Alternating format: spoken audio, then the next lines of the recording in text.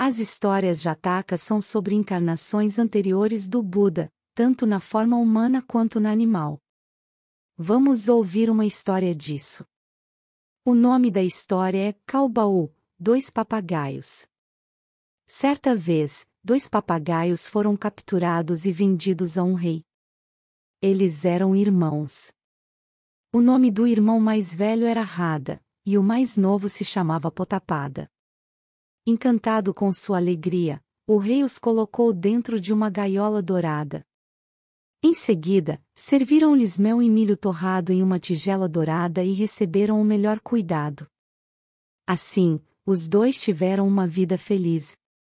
Eles também atraíram os convidados reais, que por sua vez os elogiaram.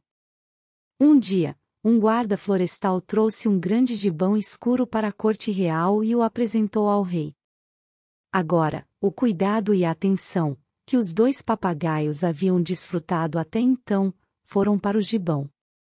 A mudança no tratamento prejudicou o irmão mais novo, Potapada. Mas Rada, a mais sábia das duas, não se incomodou. Um dia, chateado com a mudança de atitude das pessoas, o pequeno Potapada compartilhou seus sentimentos com seu irmão. Ele disse: Ó oh, irmão! Não é certo que antes tão bem atendidos, agora estamos sendo negligenciados. Não deveríamos deixar este palácio então? Rada tentou consolar seu irmão mais novo dizendo: Olha, irmão.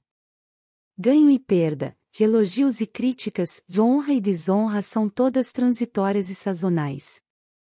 Portanto, não se deve ficar chateado com essas mudanças.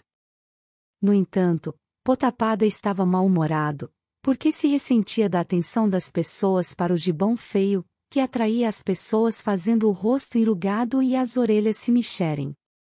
Rada, então lendo sua mente, disse novamente a seu irmão, ó querido irmão. Não se preocupe. Um dia, o valor real do gibão será divulgado ao mundo, e então sua devida honra será restaurada. Logo, a verdadeira natureza do gibão foi revelada por seus gestos selvagens e truques desajeitados, que aterrorizaram os jovens príncipes e os fizeram chorar. Quando o rei ouviu o terror do gibão, ordenou a seus homens que o expulsassem.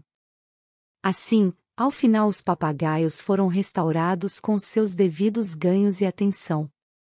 Naqueles dias o Bodhisatta era Rada e Potapada era Nanda, e Devadatta era Calabaô,